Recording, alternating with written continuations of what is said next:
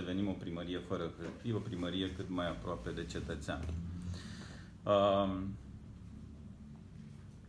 am uh, încercat să aplicăm lucrul acesta începând de anul trecut și ne-am izbit în unele situații de lipsa de înțelegere a unor instituții ale statului cu care colaborăm, în altele situații uh, de lipsă de viziune sau de cadru legislativ nearmonizat. Și vă dau exemplu. La ora actuală, unele instituții înțeleg că un document original înseamnă doar o foaie de hârtie pe care el poate să o pipăie. În opinia noastră, un document original este și un document editat online care are poartă semnătură electronică cu extensia sa și care dovedește că acea semnătură electronică este semnată de mine. La ora actuală, în primăria Ciugud, undeva la 60% dintre angajați au această semnătură electronică. Din păcate, nu toate instituțiile acceptă acest lucru. Drept pentru care noi ne-am propus ca anul acesta să organizăm o întâlnire, o întâlnire probabil la Alba Iulia, la care să punem la masă, în primul rând, Ministerul Dezvoltării Regionale și Administrației Publice Locale, principalul responsabil pentru uh, informatizarea administrației publice locale, apoi să aducem Ministerul Finanțelor, să aducem Uniunea Notarilor Publici, să aducem Ministerul de Justiție și, sigur, Ministerul Agriculturii, Ministerul Fondurilor Europene, în așa fel încât să vedem cum ne putem armoniza, să eliminăm uh, hârtiile din primărie.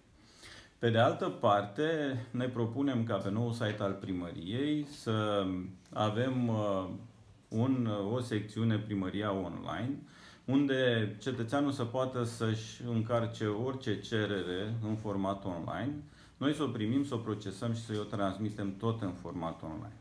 Ne gândim foarte serios, nu știu cum o să ajungem să o implementăm, ca în locațiile în care sunt și automatele de plată să punem și o imprimantă și acolo cei care nu au posibilitatea acasă să primească așa ceva, să poată să fie printate astfel de hârtii. Nu vă ascundem că am analizat uh, relația administrației publice cu, eu știu, APIA, cu evidența populației, cu Ministerul Agriculturii, cei care ne cer tot felul de adeverințe. În opinia noastră, informatizarea administrației publice locale ar însemna crearea unor platforme uh, informatice în care noi să ne încarcăm baza de date, iar funcționarii de acolo cu un user și o parolă să ajungă să vadă ce proprietăți are Damian Gheorghe în Ciugut, să vadă, eu știu, dacă eu stau în Ciugut și pot să-mi facă un buletin, să vadă, nu știu, câte pluguri sau ce mai interesează pe ei. Până la urma urmei, de ce ne dorim asta?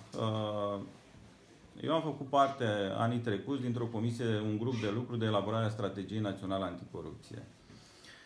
Și în cadrul acestei uh, proiect am avut o vizită de lucru în uh, țările nordice, în Suedia și Danemarca. Și am văzut acolo, la primării de țară, implementat acest sistem, unde, într-adevăr, și ei au avut probleme cu bă, cetățenii în vârstă care nu știau să folosească calculatorul.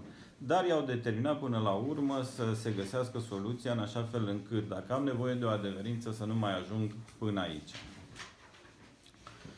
Despre asta vorbim. Dacă, eu știu, aveți uh, întrebări legate de acest subiect.